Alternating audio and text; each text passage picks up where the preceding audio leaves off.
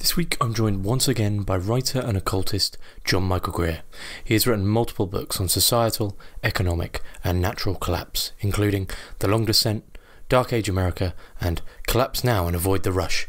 In this special episode, we discuss COVID 19, the coronavirus, and its implications on the future.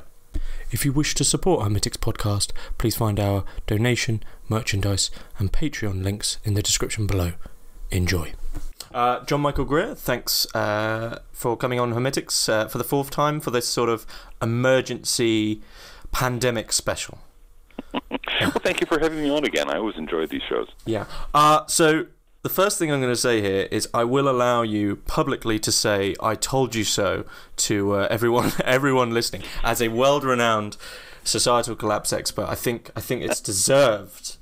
Uh, but so yeah, we're in the we're in the midst of uh, coronavirus, COVID nineteen, and I Mm-hmm. think to you know I'm I'm an avid reader of yours, and I'm an avid follower of Dmitry Orlov and James Kunstler and uh, Chris Martenson. So so just you know I I hope it's not too arrogant to say this isn't.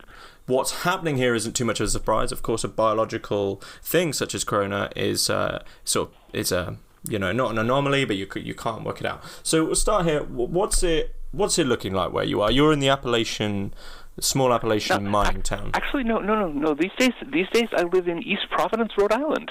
Ah, okay. we've- yeah, we've left we've left the mountains and are now on the seacoast, but it amounts to much the same thing. Um, East Providence is an old factory town. It's um, of course it's kind of a, a suburb of Providence itself, which is a small a smallish East Coast city. Um, what it looks like here is is a, kind of a slightly quieter version of business as usual. This uh, East Providence is not large enough to have to have a, a shelter-in-place order. They haven't locked down the city. They are, you know, they, they've uh, banned lar- any large gatherings to um, take out to get restaurant takeout food instead of sitting in. There are some other things that have shut down and so on.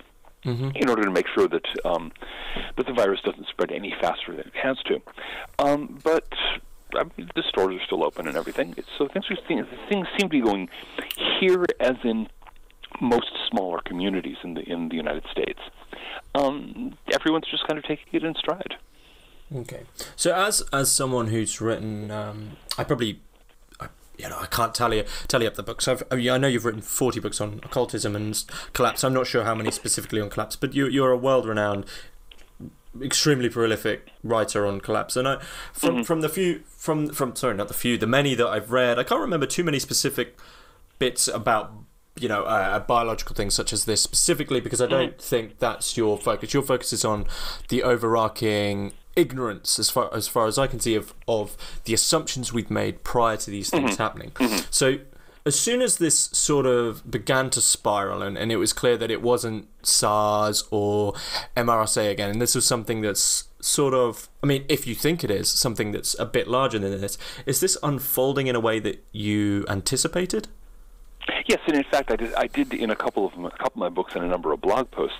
I discussed the likelihood that we would be seeing more pandemics, more major diseases, uh, a general decline in public health. So this is this is totally predictable.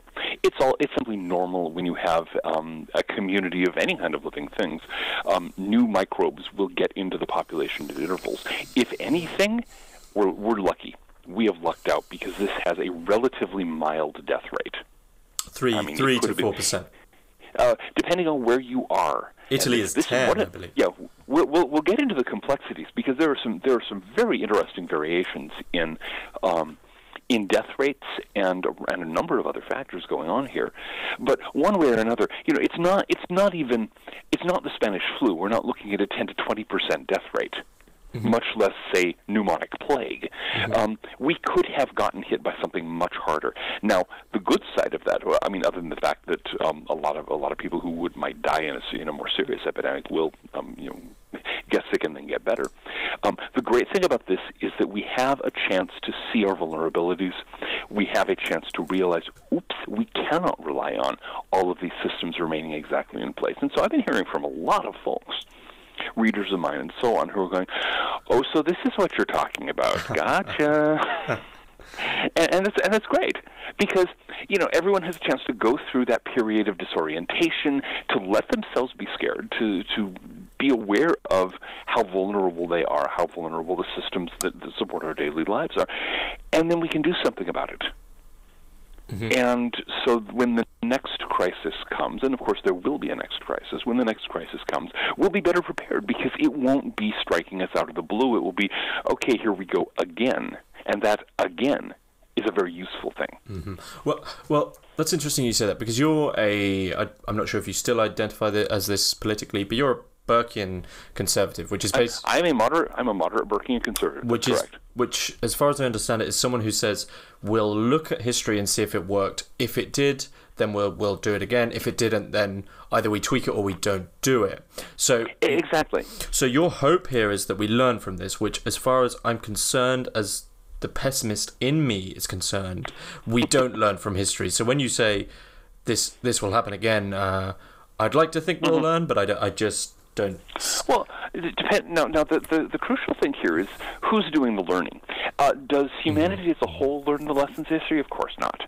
Um, there, there, there seems to be a law of, of, of intelligence in groups. The more people you put together, you, you like have to divide the intel, the total intelligence, or the average intelligence by the number of people in the group, or, or something mm-hmm. like that. Because mm-hmm. people in masses are dumber than rocks. Individuals can learn. Mm-hmm. And that's my hope is that individuals looking at this will go, oh, okay, now I understand what that crazy archdruid was talking about, and I won't be caught quite so cluelessly again the next time something like this happens. And that because that, that's the way any real change happens. It happens because individuals figure out something and they get hit over the head by what what, what the kids online these days call a clue by four, um, hmm. often enough, and all of a sudden it's oh, okay, and then they change their ways. That's what I'm hoping for. Will society as a whole, you know, wake up and get a clue? Of course not. Our species doesn't do that.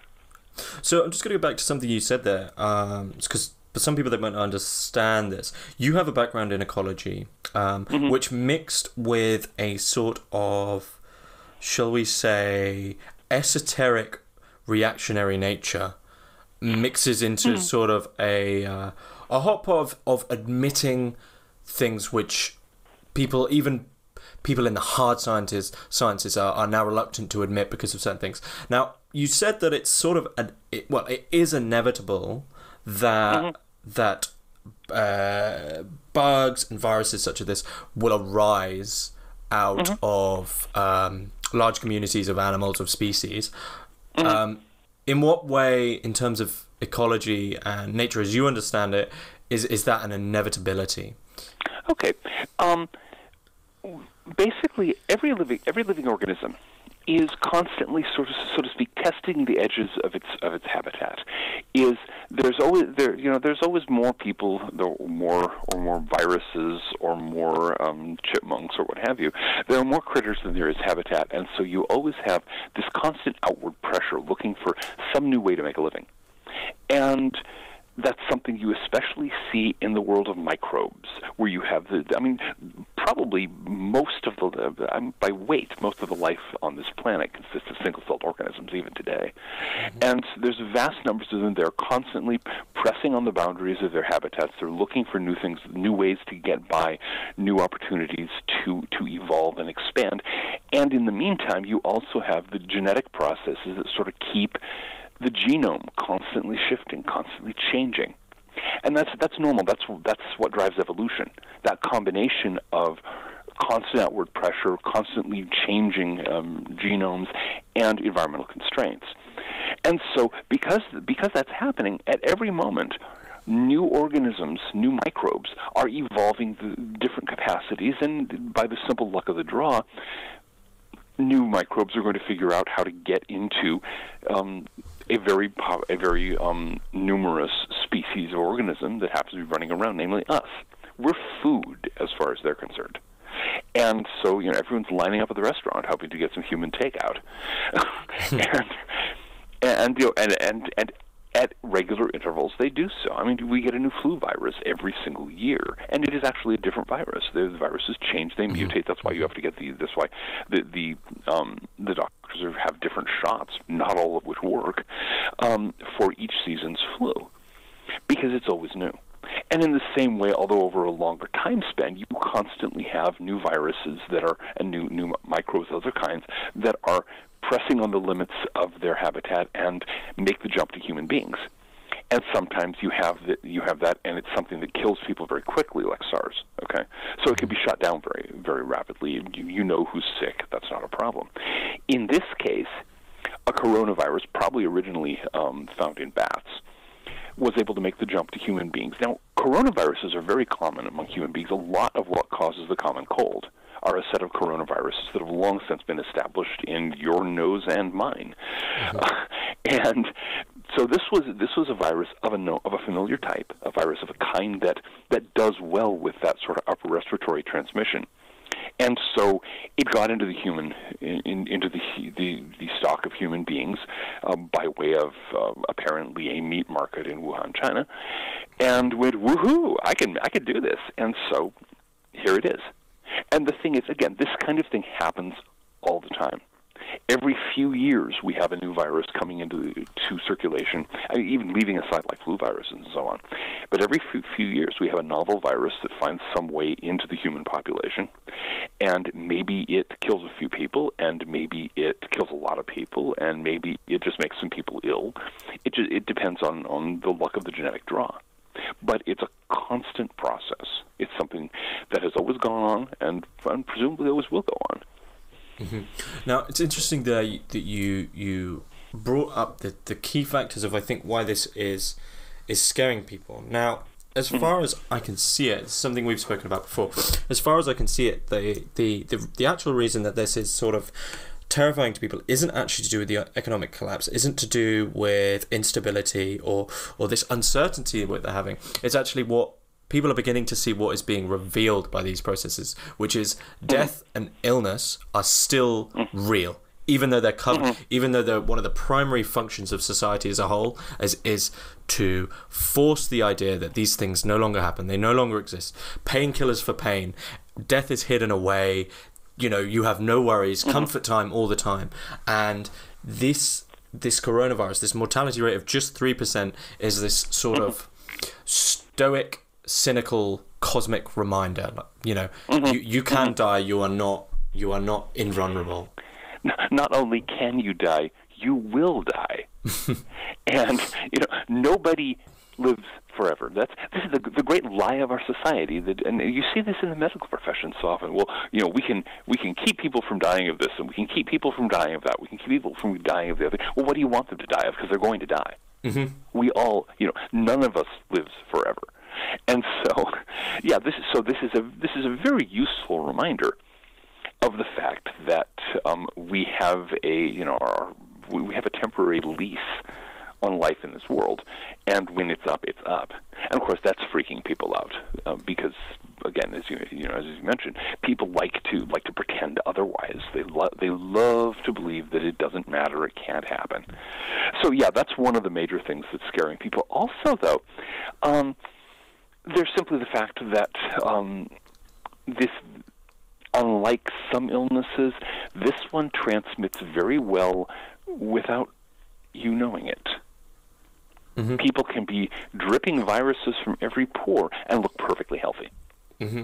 And so that's producing the, the sort of terror reaction. And it's also it's also revealing things like um, some of the limitations on our uh, on our economic system, not in terms of economic collapse, but in terms of say toilet paper. Mm-hmm. Well, this was this was one of the one, the one of the the key things I've got written down here because the toilet paper is an interesting one. As I understand it, the the two facts I've got on this is either uh, let's just beat a, not beat around the bush here. Either diarrhea isn't really a symptom of this bug, or only ten percent of people get it, which to me mm-hmm.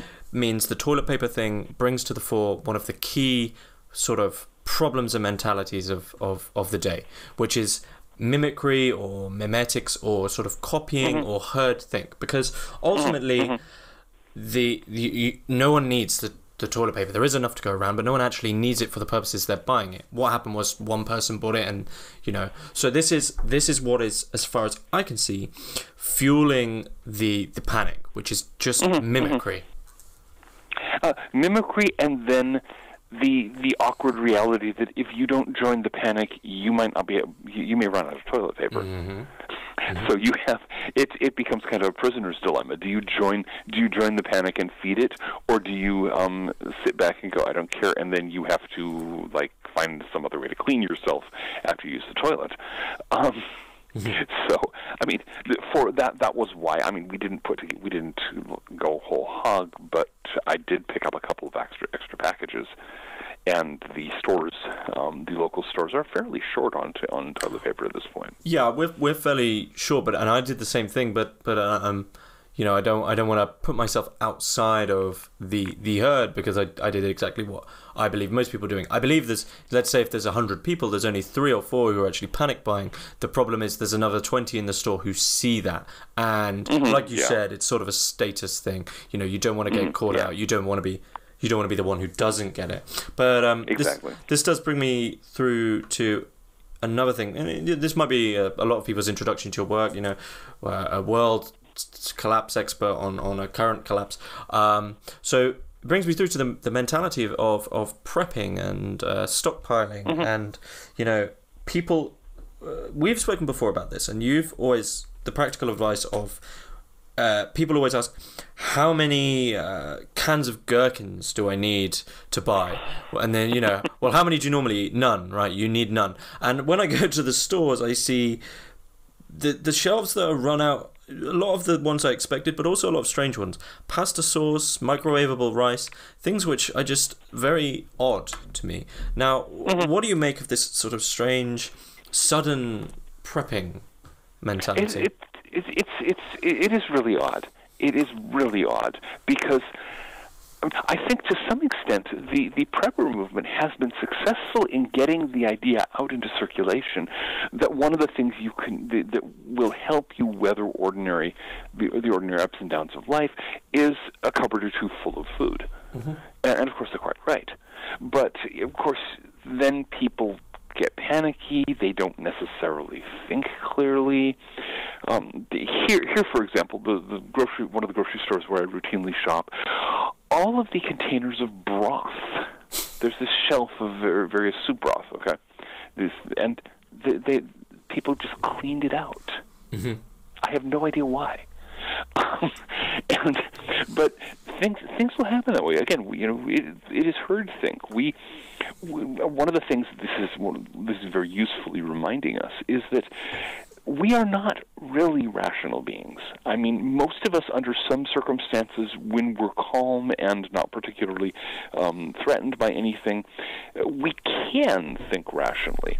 Mm-hmm. But it doesn't come. It doesn't come naturally. It's not something that happens automatically. And you put any pressure on most people, and the rational mind just shuts down, and they do some very strange things, like running around buying microwavable rice or something like that.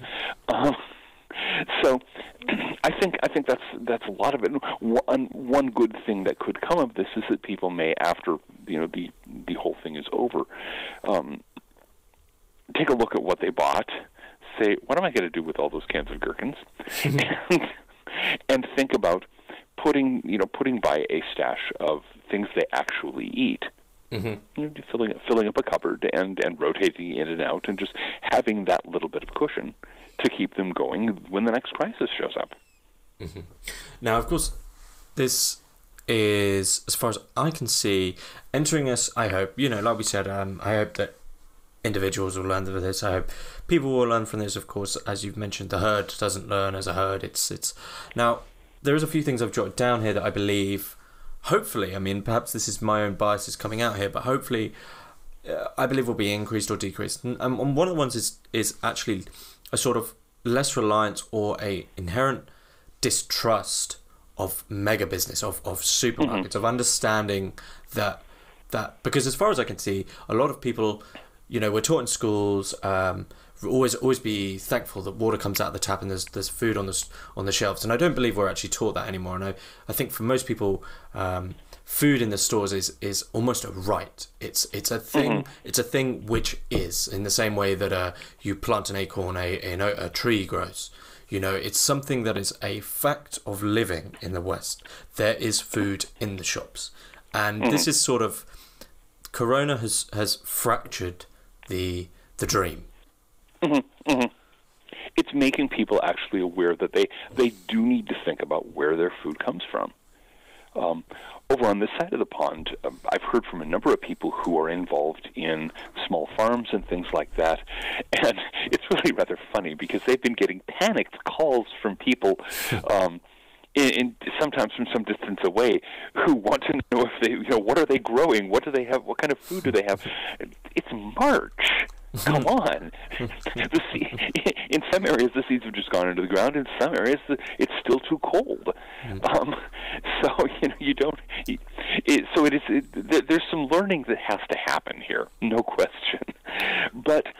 But yeah, people are beginning to become aware that they can't simply assume that these these megastructures of everyday life are going to function as expected, and that's that's very important. Once people get to the point of of grasping the fragility of our existing systems, it becomes much easier to do things to make those systems less fragile, to promote local reliance rather than the the sort of global megastructure that we're stuck with at the moment, and so on. Mm-hmm. Where do you think those assumptions come from? The oh the advertising. Mm-hmm. nobody, I mean, nobody ever turned on the television and saw an advertisement of bear, with bare shelves saying, "We'll have more food in next week." so it's advertising on the one hand, and, and also since the Second World War, the the, the industrial world, the, the Western world, has had an extraordinary and historically very unusual period of of stability and peace and prosperity. We've we've had economic downturns, sure, but compared to what has happened in the past, they've hardly been noticeable. And we haven't had, you know, we haven't uh, since again since the Second World War, we haven't had to deal with food rationing. We haven't had to deal with real shortages. We haven't had to deal with bombs dropping out of the sky or any of the other charming things that that history is generally full of. Well, not necessarily bombs dropping out of the sky, but um, enemy horsemen uh, stampeding through the gates works out of the same thing.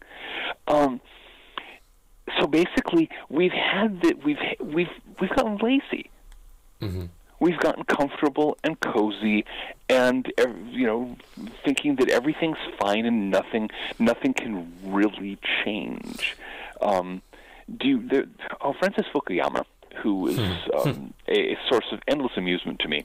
This, he's, he's, an Amer- he's an American intellectual who some years ago wrote a book uh, announcing the, that history was over. okay, the end history's of done with history. the end of history, the end of history, because um, the the the whole point of history, you know, this is Hegel, and we'll, we can get to that in a bit. But the whole point of history is this, this sort of competition between governmental systems to determine which one is best. And with the defeat of the Soviet Union and the triumph of, of um, the of what we laughingly call liberal democracy. Um, that that's that is settled once and for all. There may be events, but everything is going to settle down into this nice, calm, stable afternoon where nothing much happens ever again. A lovely thesis. Uh, it, it, the thing is, it's it was it, it's perfect Hegel, which means I don't know if you've ever read Hegel's philosophy of history. Um, unfortunately, I was more. I was. I always diverted at Schopenhauer, and uh, the, Oh, the my favorite quote on Hegel is uh, from the philosopher Nick Land, which is "Reading Hegel is brain cancer," which is one of my. I will not argue. Um, so yeah, I think you know the the Yeah. if we're talking, you know, for anyone who's not philo- philo- philosophy savvy, uh, antithesis, thesis, and then uh, a synthesis. So an agreement, a disagreement, and then we we have come to a compromise. Now, unfortunately, I think perhaps you'd agree with me here, John. Coronavirus is, is isn't part of that threefold structure. It's the di- Exactly. it's the diagonal, which it's history. You know, you're not immune to history. It's history coming back. Exactly. Yeah, the, the the problem with he- Hegel's theory of history always produces nonsense. Apply it to the real world, you will. I, no matter whether you do it from the far left, from the far right, from in between, like Francis Fukuyama, if you apply Hegel to history, you get complete gibberish. I know of no system of thought less likely to give you correct answers. And so, um, and this this is a great example. This this whole notion that history is this is this process whereby something unfolds in time and then settles down to a nice stable situation and squats there. no, that doesn't happen. It didn't. It you know. Uh, Hegel himself thought that um, thought that, I, I forget the exact nature, but he was convinced that history was about to come to an end in his time or shortly thereafter. He was wrong. Everyone else who's thought that way has been wrong too. Um, and yeah, the coronavirus is not a thesis. It's not an antithesis. It will seek no synthesis. It's simply, um, I have now forgotten who described history as just one damn thing after another. And that's what coronavirus is another damn thing. Yeah. Yeah. Um, I guess, and what, what comes to mind to me is is the sort of atomist reading of history. You know, if you have the the laminar plane of everything's flowing straight, everything's flowing straight, everything's going fine, and then you have the uh, the the clinamen or the Kleinman, which is just that one deviation. And mm-hmm. uh, you know, it, to put it in sort of horrible materialist terms and scientific terms, which I don't like to do, but all you have to think is that one atom at some point moved within a version of coronavirus. One atom moved in this bat, and someone ate that, and you know there was just this tiny, tiny thing, and now it's spiraled into this um, absolute chaos.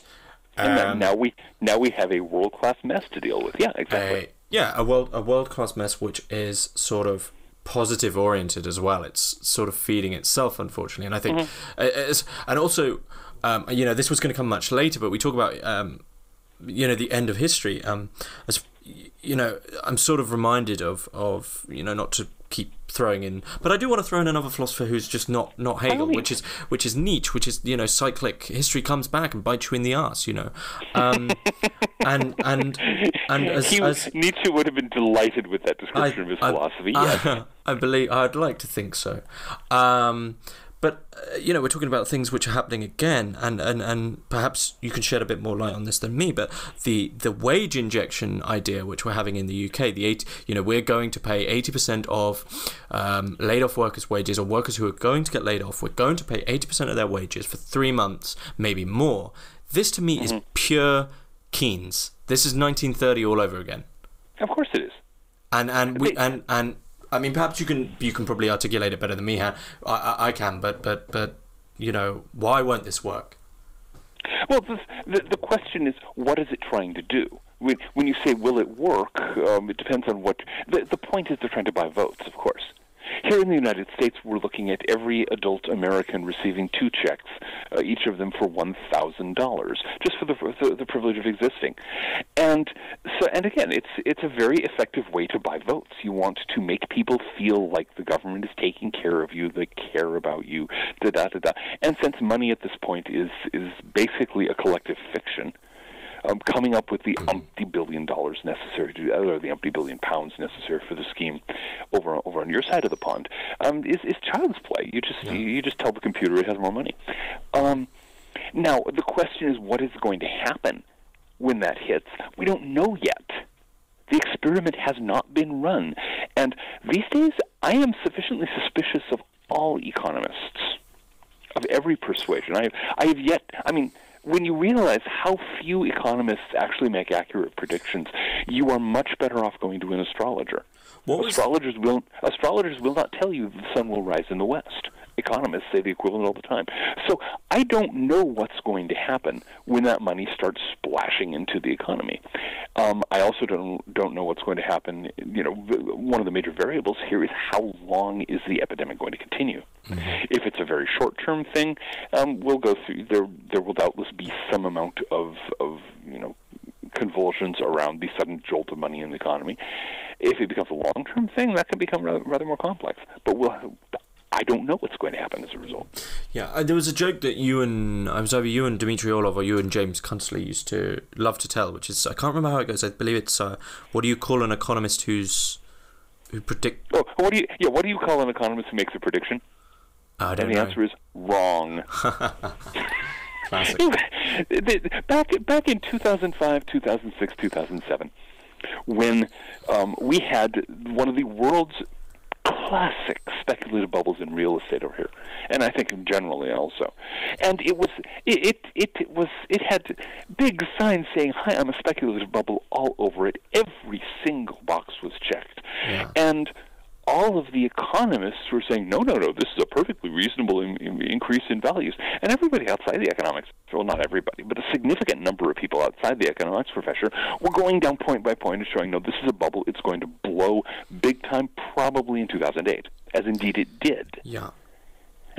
and so th- there were entire blogs. Um, a guy named, guy named Keith Brand, I think it was, had a great blog called Housing Panic. and his his tagline was, "Dear God, this is going to end so badly," and he was right. And yet, the economists, the people who, in theory, should have been first to go, mm, that has all the signs of a speculative bubble, they were completely clueless. They literally, they they could not have been more wrong if they if they had set out with that goal. And so, yeah, what do you call an economist who makes a prediction? Wrong. It, it works.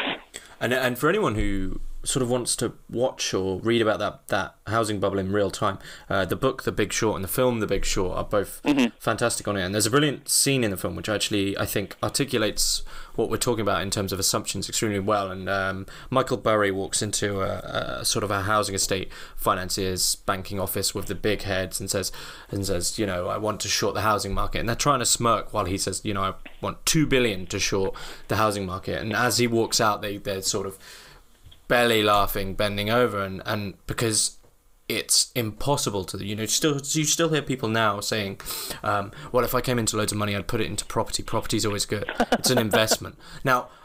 Now, an investment is something that should grow or should have intrinsic value, as I understand it. Exactly. So, unless there's water on on your land, you haven't got an investment. You've got a piece of property, and um, and American suburban property, especially, is is less than useless. Exactly, exactly. It's it was the whole thing was so crazy. Um, actually, the the other thing that I would recommend our listeners check out is the best book ever written on economic bubble and pop, which is The Great Crash 1929 by John Kenneth Galbraith. Um, it is the funniest, most gripping, most hilarious, most side-splitting work of serious economic history you'll ever encounter. And once you read it and think about it, you will never be fooled by a speculative bubble again because they all look the same. And people act the same way, and they even trot out the same slogans. What are the key? what are the key late telltale signs which you believe are should be so obvious? Oh yeah, no the the the the, the the the flashing red light that means get your money out, stick it under the mattress if you must, is the insistence that not only will the asset class that's at the center of the bubble continue going up forever, but it will continue going up so far and fast that if you don't get in now, you're going to you're going to miss out on on becoming rich. Mm-hmm. Once you start getting uh, the moment people, a significant number of people start saying, you know, there's unlimited upside for this, this, this will only always go up, flee. Yeah. And um, once they start saying, you better get in now, it, it's going to crash shortly. There was a book published by, uh, I forget the guy's name now, on the, um, uh, who was in the, in the, the National Association of Realtors, I think it was. And it was all about how you have to get into real estate now or you're you know you're going to miss out completely. You'll never be able to own your own house blah blah blah. And i think it came out about three weeks before the bottom fell out now, I, I have some. There's there's good historical parallels here because you probably you have probably heard of an American family from Massachusetts named the Kennedys. Mm-hmm, mm-hmm. Uh-huh. The reason you have heard about the Kennedys is that old Joe Kennedy, um, who was well, let's be polite, he was a member of the Irish the Irish um, criminal underworld. Basically, he made his money his money as a rum runner, um, but he he had made enough money that he had money in stocks and things like that. And in I think it was 26, 27, something like that, he was getting his shoes shined by a shoe shine boy on Wall Street. And the shoe shine boy offered him a stock tip. And old Joe Kennedy thought about that and said, if shoeshine boys are starting to get into the stock market, it is time to get out. He pulled all of his money out of the market that day and stuck it in nice, stable, um, unexciting investments totally unrelated to the subject. And so when the market crashed in 1929, he did not lose one red cent. And all of a sudden, um, old Joe Kennedy was one of the richest men in America, not because he had made all that much money, but because he hadn't lost it all. Yeah. And it's sort of uh, along the, the lines of the Warren the Warren Buffett saying, you know, when there's blood in the streets, that's when you should buy. When everyone else, Oh, yeah. when everyone else is um, saying buy, buy, buy, the you, the chance is already too late. You haven't. Oh yeah, You haven't yeah, found one, it. Yeah, and the thing is, remember that whatever you are hearing is is for, is is is promotion. Yeah. It's not it, whatever you hear from a pundit is not in your best interest. They're trying to they're trying they're treating you are the sucker, okay? Mm-hmm. And so if you do whatever if if you if you do whatever they're trying to get you not to do, when they're saying you've got to get into the market, that means you need to get out of the market. When they're going, um, when they're desperately piling out of the market and saying, "Oh my God, it's going to go down and down and down," then you want to look at at value at good values to buy. Yeah. Because you know they're trying to play you for a fool. You don't have to cooperate. If you can't spot the the sucker at a poker table, you are the sucker. It's yeah, ex- yes, yes, very much so.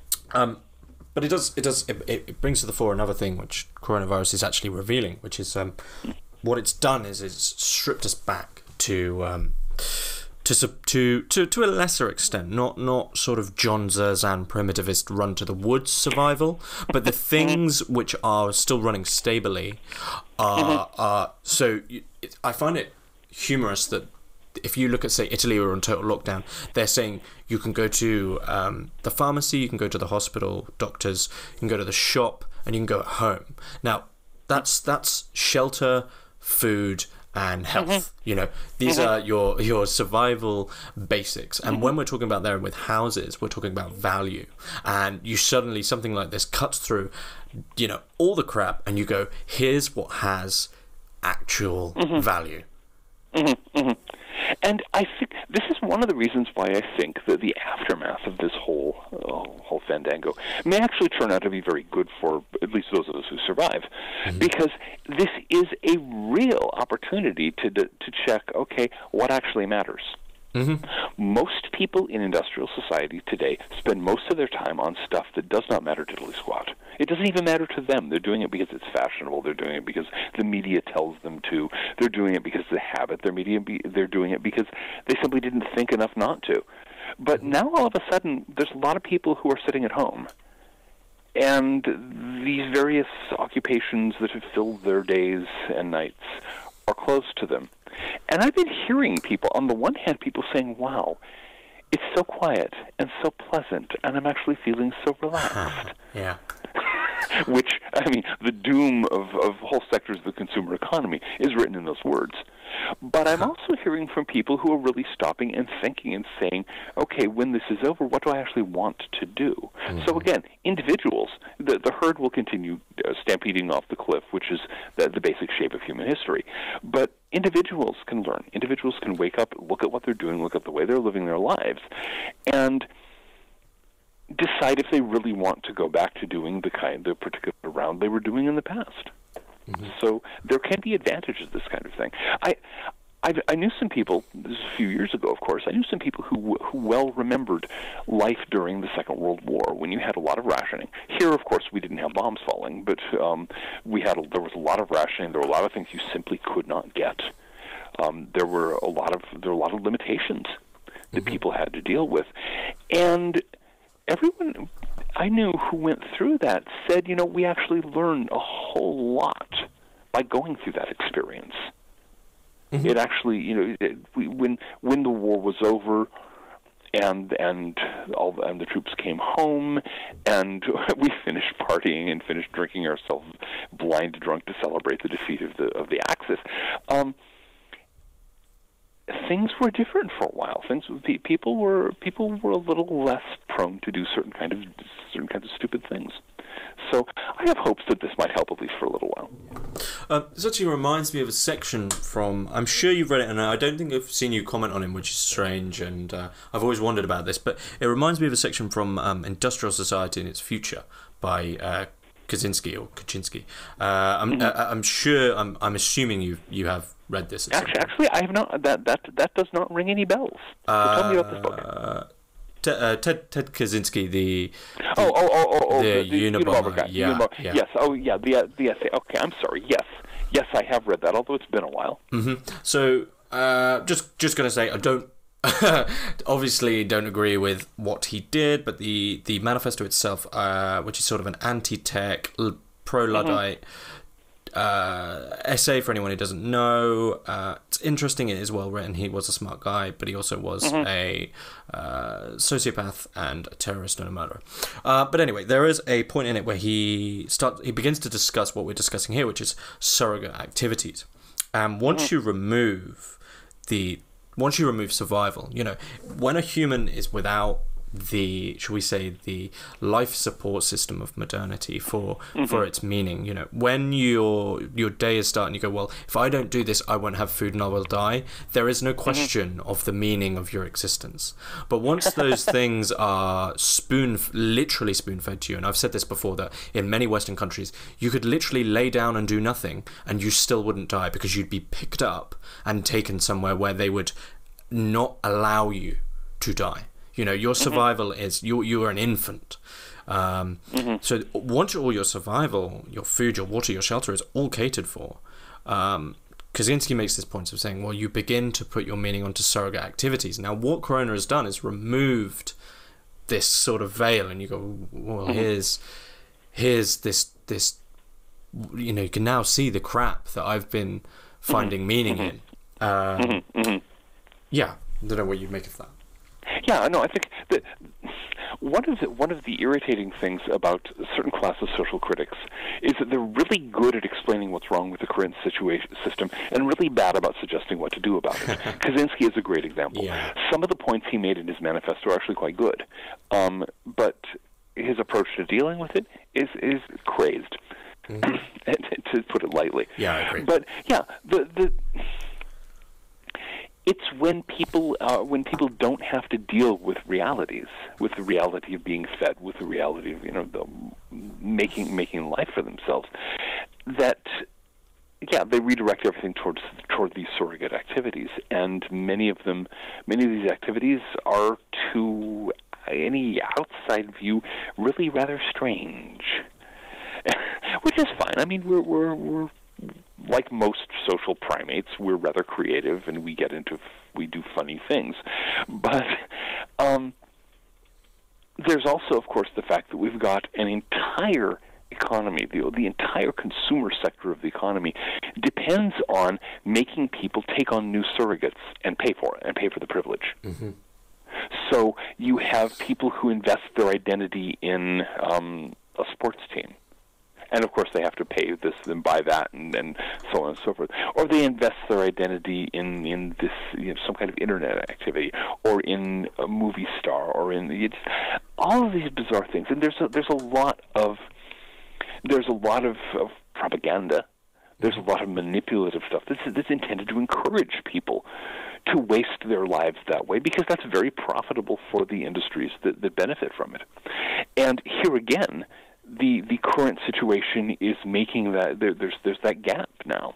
I mean, in some cases, people can still go online and play World of Warcraft or whatever it is, but a lot of those surrogate activities have been shut down. Nobody's going to to you know, sports games at this point. And bit by bit, I think it's starting to sink in that um, for some people that well, maybe that wasn't all that it was cracked up to be. Mm-hmm.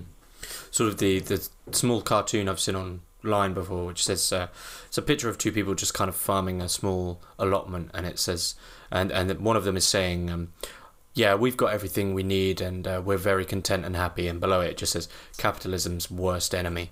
Uh. yes, yes, very much so. Yeah, and the thing is, it it it is not necessary for an economy to to work that way. We've managed to create one collectively that does.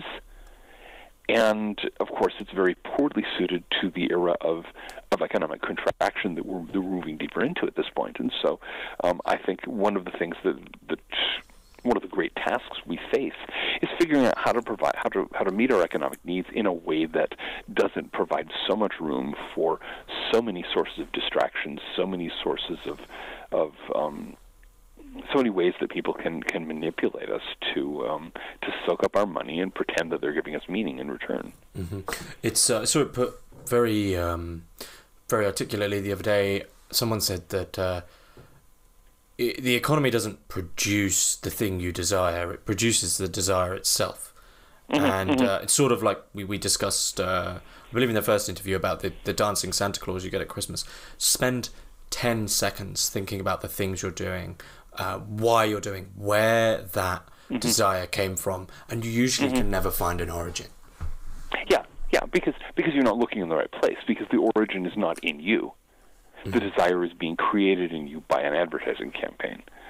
And so, yeah, this here we start getting into. I mean, it's it's, it's really difficult to talk about this sort of thing without using terms like sorcery, mm-hmm. without using terms like spell and trance, mm-hmm. and, and um, Ioan Culianu, the, the brilliant Romanian American uh, scholar mm-hmm. um, who, who wrote um, Eros and Magic in the Renaissance some decades back, um, he he was very clear on this. He points out that modern advertising is a is a form a debased form of magic. It's a way of to borrow Dion Fortune's definition of magic, causing change in consciences in accordance with will. Of course, your consciousness is being changed, but it's not your will that's changing. It's the it's the guy who's paying for the ad.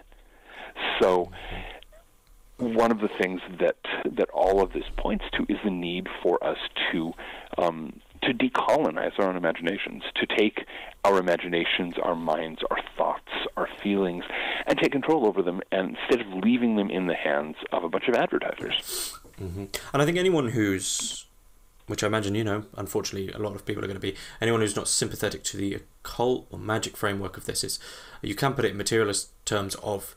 Um, I think it was David Foster Wallace who said that an, an, advert creates an anxiety which is relievable by purchase. And what mm-hmm. you need to do is assess what are you anxious about? Is it because you don't you know i'm not going to have this fast car. Are you anxious that uh, you know you're not going to have the status? Well why do you want the status? Um, mm-hmm. and then you'll you'll answer that and you go well why do you feel like you need that? Etc etc and eventually you get to mm-hmm. the, the the point that no, so this is all sort of free floating and is held together by its own justification mm-hmm. Yeah yeah, and you can take it the other way and go, well, will buying this product actually give what you know provide the service that it's supposed to? And the answer is always no, no, because a satisfied customer doesn't keep shopping. And so, if you look, you know, you here we have a beer ad, okay, and there's a t- I don't I don't know what your beer ads are like over here over there. Over here, your typical beer ad has a bunch of people having a, a mix, men and women together, of course. Mm-hmm. Um, and the, the women are always at least one of the women is looking adoringly at one of the men. It's it's really quite tacky, mm-hmm. and but you know they're they're raising glasses of beer and they're all fashionable and they're all young and they're all pretty, and look at that with a jaundiced eye as it sits there on the billboard and go, for real, no, no. No, you are not going to experience this by buying um, a bottle, you know, buying a bottle of cheap yellow beer because it's almost always the cheap yellow beer that's being advertised that way. Mm-hmm. You know, this you are not going to have that experience. You're going to sit there and drink this this fizzy yellow substance that uh, you know you want to speculate which uh, what the what creature's bladder produced it if you want to, but um, but you know you're going to sit there drinking this stuff, and you're going to have exactly the same kind of social life that you had when you weren't drinking this stuff. There isn't is not a you know the cheap yellow beer is not a magic talisman that will make you young and pretty and fashionable and get girls to gaze at you adoringly. Um, and once you start looking at ads that way and taking them apart and saying, okay, what what manipulation is that one trying? It becomes kind of funny. Mm-hmm.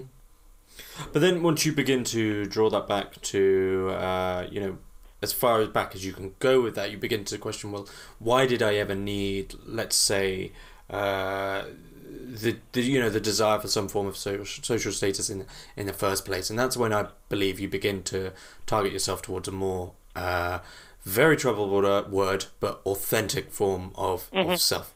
Um, But but one thing I would just comment there is um, the the consumer has become sort of sadomasochistic because a lot of advertising now is sort of uh, kitchen sink realism and, and ironic, and it would sort of actually give you the the brutal you know reality of what it's actually like and but instead of consumers feeling that they're mocked they'll sort of laugh and say oh that's you know that's me that's what i do um, and i think to that extent that a sort of you know the the modern beer ad I mean, we don't have too many in this country now but i think the modern beer ad you know should be a sort of balding middle-aged phone salesman on a saturday night sat on his own just watching mm-hmm. soaps, and I think you know perhaps that would still yeah. sell. Unfortunately, I think it was Leo- Lyotard who said that the working class love the pain and strife of working. They you know, they adore it. They sort of uh, they revel in in the idea that they're suffering. I think. Um, not sure I agree, I, but I, there you go. I, am not. I'm not. Sure, I'm not sure he's right. I think I sometimes suspect that he didn't spend a lot of time talking to working class people. Are you you, um, suspe- it, it, you suspect it, that a uh, upper middle class French philosopher didn't spend much time with the working class? Exactly. I, I, I don't think I don't think he spent enough time in, in working class bars or the equivalent, uh, just listening to the talk and find uh, this. Of course, that's that's the pervasive problem with a lot of the leftward end of politics. They're full of talk about the sufferings of the working poor and all this kind of stuff, and it's all written by people who have never skipped a meal in their lives and who are the beneficiaries of the system that they claim to be opposed to. And of course, that and you end up with all kinds of strange paradoxes coming out of that. Mm. And, and what yeah and, and, and it's sort of the the etiquette the cleanliness and the professionalism of the of the left which mm-hmm. always bemuses me in terms of you know I grew up around a lot of working class mm-hmm. people and uh, I don't want you know these are people I get on with so and I know that their humor is one of pure banter and self depreciation. Mm-hmm. So they wouldn't mm-hmm. mind me saying this, but the stereotypes are true.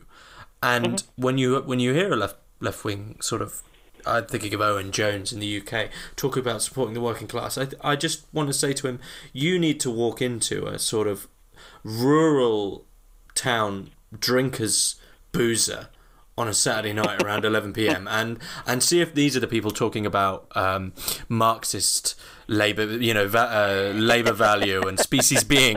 You know, mention that to them, and either you're going to get chucked out or you're going to get knocked out. You know, mm-hmm. um, uh, yeah, it's ridiculous. Um, it's it, it's it's ridiculous, but it's also it's a source of it's a source of great amusement, and it's also unfortunately a source of severe vulnerability on the to the left because what we've seen here in the United States in the in the era of Trump um, is that Trump is actually addressing the working class, talking talking about the issues that concern the working class, and doing a fairly good job of of um, winning support from that source. Whereas the left is now sort of flailing because the, the, the, the working class is supposed to follow us. And so we have you have all of these clean cut corporate airbrushed, uh, you know, middle management types who are doing studies to explain to try to explain the bizarre fact that when when Trump says something that offends the comfortable and privileged, the working class aren't aren't offended. Mm-hmm. Uh, there was, during during the run up to the 2016 election, there was this amazingly funny situation. They did this study with a bunch of Trump voters. They got a bunch of Trump voters, and they showed them a a video, an advertisement that was meant to convince them not to vote for Trump.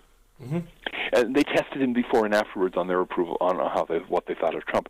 And nearly every one of them, after watching this video, was even more strong in their support of Trump. And all of the, the, the talking heads were going, this is just totally bizarre. Is it some kind of weird mental problem? Well, no. The video was made by corporate by upper middle class talking heads mm-hmm. for upper middle class talking heads, talking in the same terms that the working class has had has had to deal with for all these years. They know you're lying. Yeah, yeah. Your and lips if, are moving. And it, yeah. and if I know the word, so, oh, sorry. Yeah, no, and so, but but but it still goes. It, it, the the people in the suits cannot apparently grasp the fact that an enormous number of working class Americans see through them. Mm-hmm. Don't believe what they say. Distrust them. Recognize that they're speaking out of class privilege, not out of their great, you know, their their much vaunted sympathy for the working class and blah blah blah blah. Um, so it's, it's been hilarious to Yeah. watch Well, th- this because is as the whole thing as the whole thing cracks down the middle.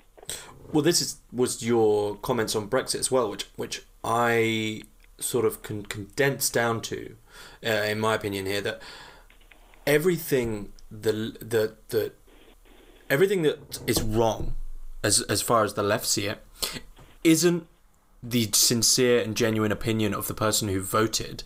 It's a fault in their thinking. You know, no, everyone on the left, anyone who anyone who votes conservative in the UK, to people on the left, that isn't their sincere opinion. They don't actually actually believe Jacob Rees-Mogg or Boris Johnson. That's a fault in their thinking which needs to be fixed. Same with mm-hmm. Brexit, and of course mm-hmm. their tactic to when you said, "Well, I'm a I'm a leaver or a Brexiteer," was you're a fascist and a bigot, and all that all that did was make those voters go silent. But unfortunately, when you're inside the voting booth, you no longer have to be silent, and that was the You know, first. exactly. I'm in complete agreement with you. I've watched, listened to your interview. That was the first truly working class vote that has ever happened in the UK since about Mm-hmm. 19, the late 80s. Yeah, and it, just watching the run up to the Brexit vote, it was it was very parallel to watching the run up to Trump's first uh, to fr- Trump's election in 2016. All of the pundits trotting out a set of canned uh, of, of canned talking points that were completely detached from the reality that most people lived in. Uh, and they were they were it was all focused within an echo chamber within an, within a, an echo chamber of comfort and privilege and nobody nobody addressed the concerns of the majority of the voters. Mm-hmm. It was it was frankly eerie. And then when when the when the brexit vote went the way it did the constant well that can't have happened. Well you know, we, we we have to do it again. Maybe they'll get it right this time. You know, the the the total unwillingness to grasp the fact that a great many million british subjects looked at the what was being offered them and said no we want our country back and and had good reasons to do so.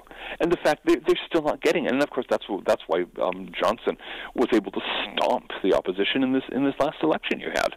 Um, everyone else was talking about the stuff that appealed within the within their echo chambers.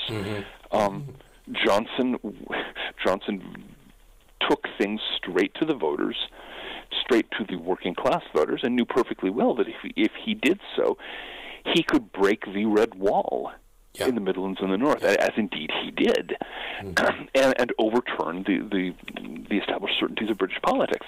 And I don't think I don't think that the, the, the Labour has yet grasped what happened. No, no, they haven't. They, La- Labour aren't Labour in terms of what that name actually historically No. means. They're an affluent liberal sort of university party. Uh. Yeah, exactly. Uh, uh, and people vote for them for the sake of every policy we have is targeted at uh, you know good cause or some virtue or you know instead Mm-hmm. of instead of well who's going to fix the potholes you know who's going to Yeah, these things aren't addressed anymore. That's the frustrations for the working class. Yeah, exactly. And so, to the extent that the conservatives can reorient themselves to become a party that has something to offer the working class, Labor may find itself out in the cold for a good long time. In the same way, we're we're facing a similar shift here, although it's a rather more ragged process. Um, we don't have the we don't have the neat. The, the neatly ordered structure of, of parliamentary government. We have a more ramshackle structure, but but it's happening here as well. Um, as the as the sort of working class populism takes off and aligns around the around uh, uh, Trump and his various supporters, there's there's a real sea change going on here, and a lot of the old line Democrats who who assume as a matter of course that, for example, African American voters will necessarily vote Democrat, are facing a shattering surprise. Well, there's a there's a fantastic article by Curtis Yarvin, which is sort of in short saying that back to coronavirus, uh, that coronavirus is is is probably the kind of the first death blow in many to globalism. Now, and what it's doing, you know, prior to this, we had four years of uh, the beginnings of nationalism again.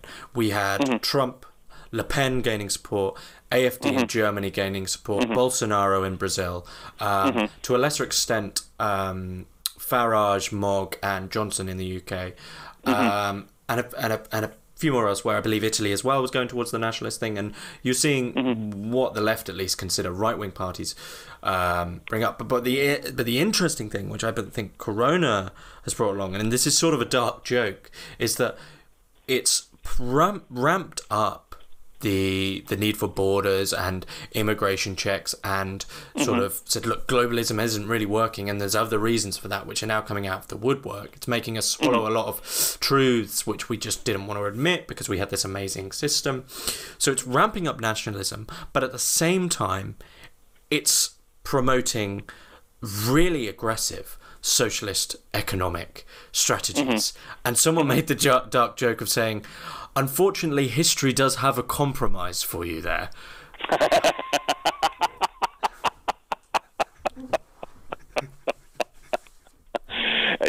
yes, and that's that. I'm sure that will be on many people's minds. The the thing to keep in mind is that that particular compromise party, with its with its armbands and jackboots, mm-hmm. was not the first to call itself National Socialist.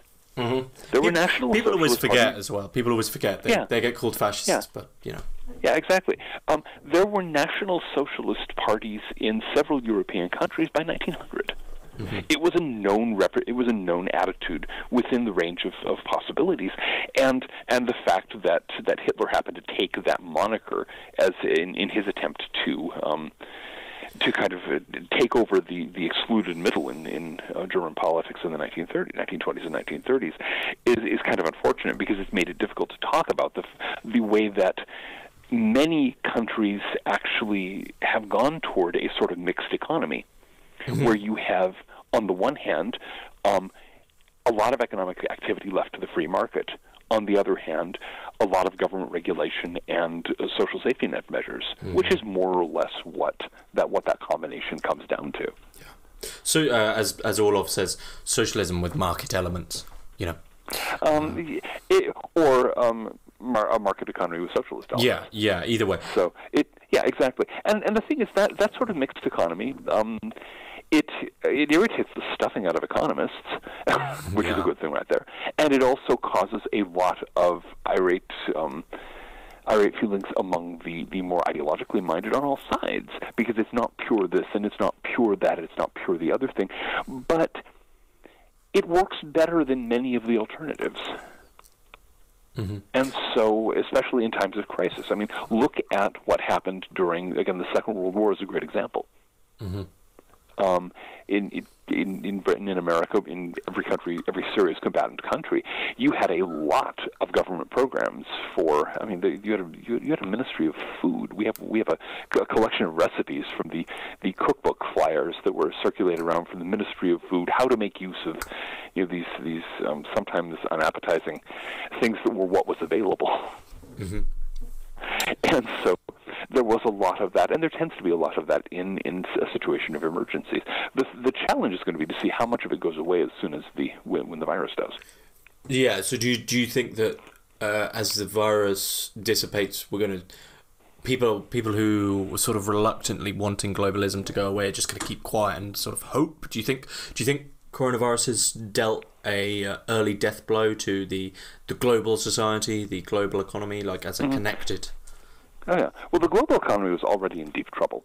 Um, once one of the major axes of it was the was the arrangement between the United States and China, where the U.S. takes uh, takes China's consumer products and we pay them in paper.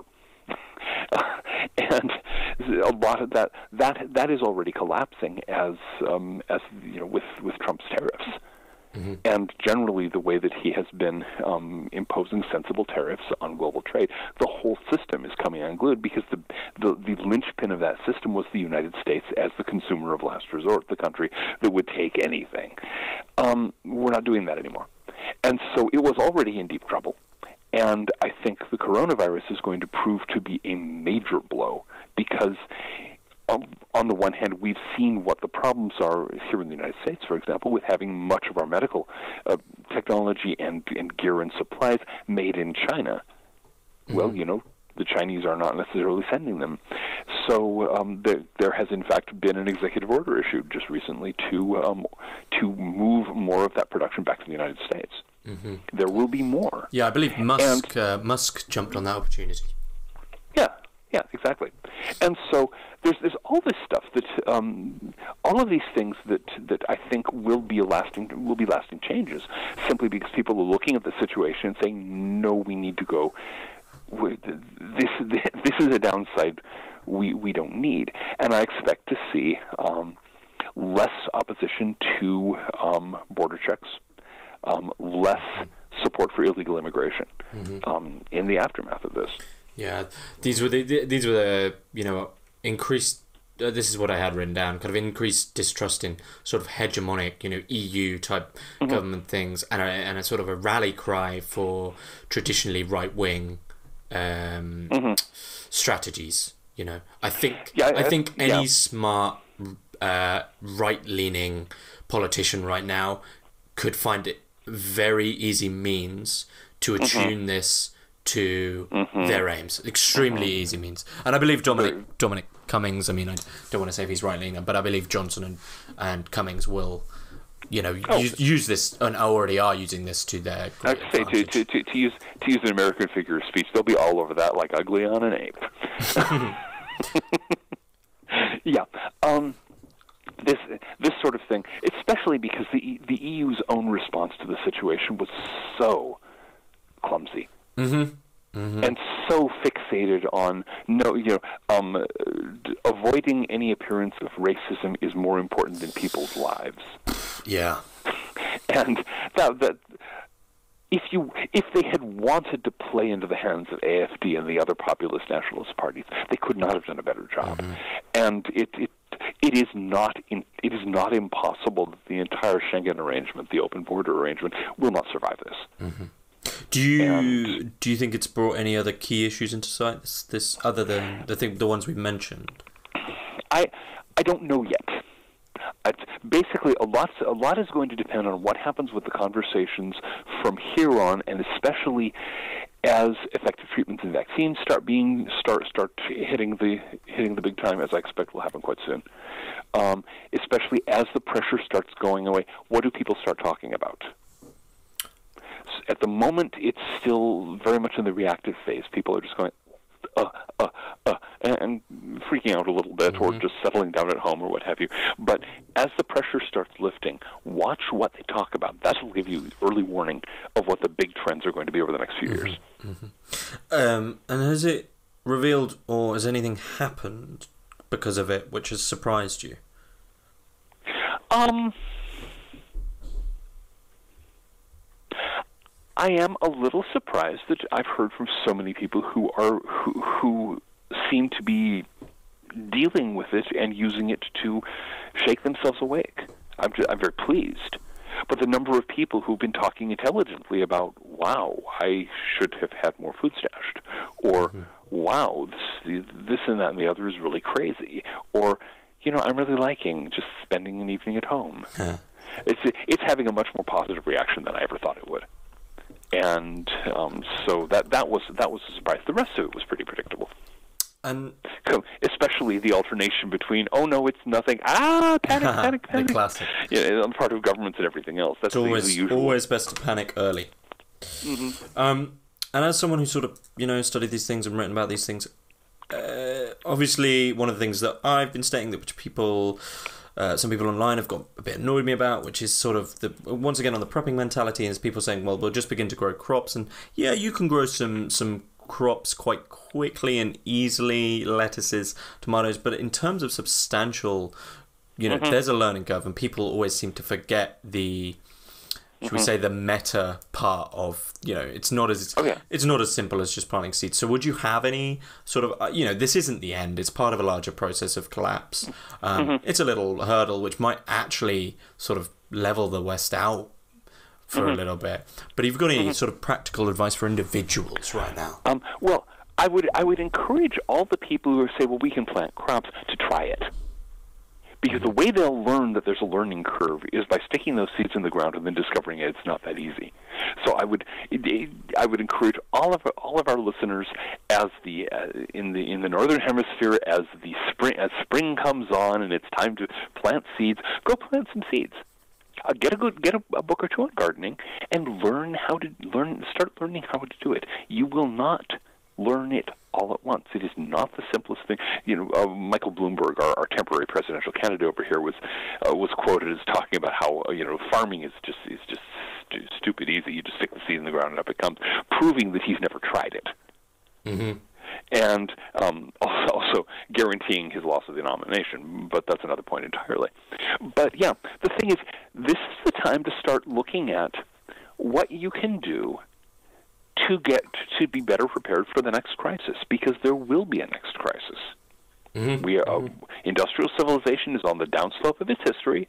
The next one may not be an epidemic. It may be um, ec- economic trouble. It may be a war that causes um, supply chains to disrupt. It could be any number of things. But there will be a next crisis, and the question is, what are you going to do about it? Now that you know some of your vulnerabilities, now that you've experienced where the limits are, where the lines are, what you have and what you don't have, you actually have some really valuable information that you can use to say, okay, I need to clear out, you know, this this, this cupboard um, that I have full of stuff that I never use, and I'm going to use it to put to put up rice, you know, bags of rice and other things that that that I can rotate into my food supply and keep replacing, so that I have a couple of weeks of food at least I can make rice and beans or what have you. Um, you know, or why don't I try doing the garden thing this spring? Mm-hmm. Give it a try. Start learning that process, or what have you. Uh, you know, each each person will have will have encountered and experienced different things over the course of the of, of the epidemic, and so it's a matter of okay, what lessons you're you going to draw from from that? This is this is not an anomaly. This is mm-hmm. actually a return to history as usual and we will have more things like this as we go.